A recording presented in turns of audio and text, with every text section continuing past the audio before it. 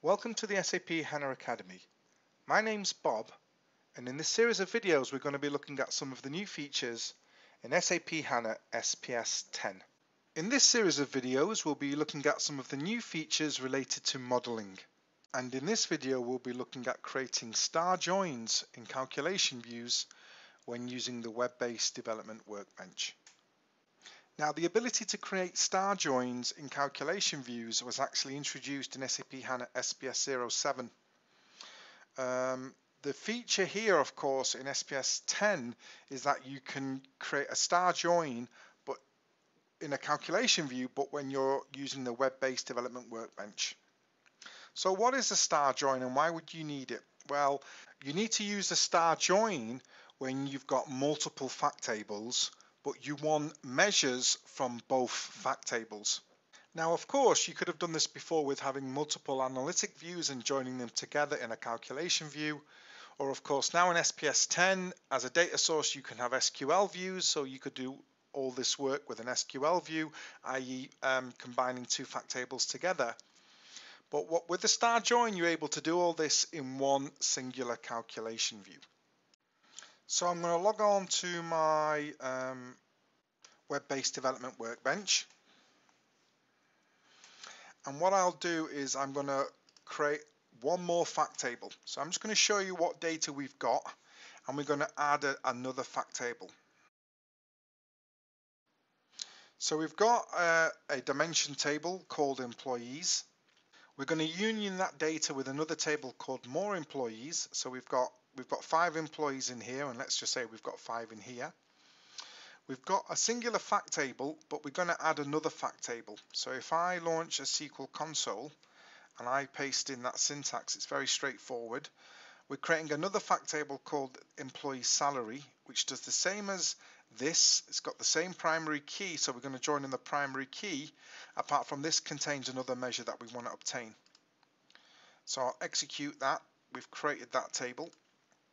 So now we've got one dimension, two fact tables, but our, one of our dimensions going to be consisted going to consist of two dimension tables.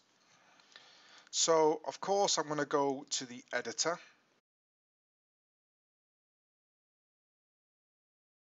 And what I'll do is I'll create myself a new calculation view and I'm going to call this star join.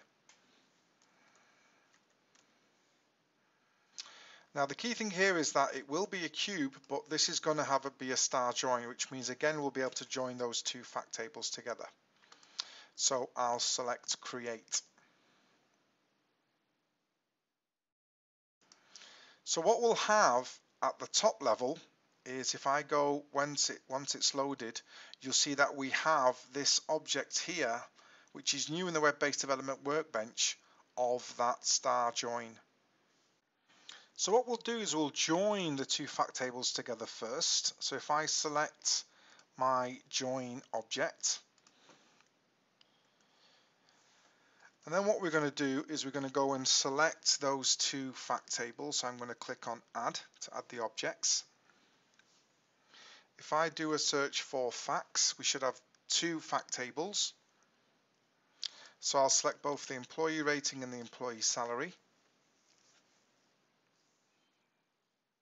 We'll join on that ID. So I'm going to drag and join on that ID. And that essentially is going to be our join. So now that we've joined, uh, we can now link this to the star join. And this is where we can go and add those other objects. So now if I go to that join, uh, of, of course, sorry, firstly I need to select the columns that I want. So if I go to the mapping,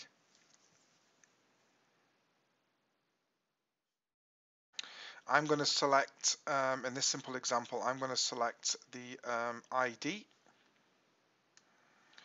the team ID, we'll leave the date out for now, the employee ID, the employee rating, and also of course from the other facts table, the employee salary.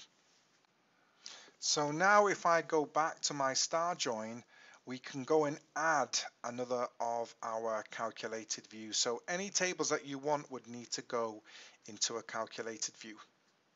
In a previous video, we created a calculated view called Union, so that's what I'm going to add here. So let me show you what it looks like. So in case you haven't seen the video, if I double click on that Union calculated view, this is what it looks like. And essentially I've unioned a few different tables together. So here you can see I've unioned three different tables. If I go into that union object, and here you can see that these are the three these are the objects that I've joined to um, so this is a combination of all three tables the employees table which contained five rows the more employees table which contained another five rows they're actually the only tables that we need and then I've unioned them together and I've outputted the data in the form of a um, calculation view so we don't need to change anything here so I'll just shut down that calculation view so of course, of course, to add this union calculation view, I'll just click here on the green plus button and I'll select union. So again, any dimension table would need to be in that um, in a calculation view. I'll double click on union. So now we've added it so now we've got that union, we've got the ID, and we know that this is an employee ID. So I'm going to link this to employee ID like so. Of course, you might want to think about the cardinality. So for me, it's going to be a many to one, like so. And that's it. Of course, if I go to my mapping, you'll only see the objects in the actual, um, in the join. Um, so you can select whichever columns you want. I'm just going to select them all. Of course, all the rest of the columns are in the semantics because within semantics, when you do your star join, you have both the private list of objects, which of course come from the, the, the join of the two fact tables, and you have the shared objects, which of course come from the actual extra calculation view. So these are the columns that are going to be outputted. So we've got role, name, and we've got ID. Um, so I'm going to, um, there's a couple of these columns that we don't need. So if I scroll to the right, I'm going to hide the ID underscore one. I don't need the, the team ID. I'm not going to inc even include the employee ID. If I scroll down, I'm only going to have the employee rating and the employee salary. And also I'm going to hide the key here as well. Don't need the key, let's imagine. So we're only going to output the four columns, the two dimension attributes and the two facts. So when you've done that, all you need to do, of course, now is save and activate. Don't forget to change the view properties. If I go back to the view properties, we're not using any analytic privileges.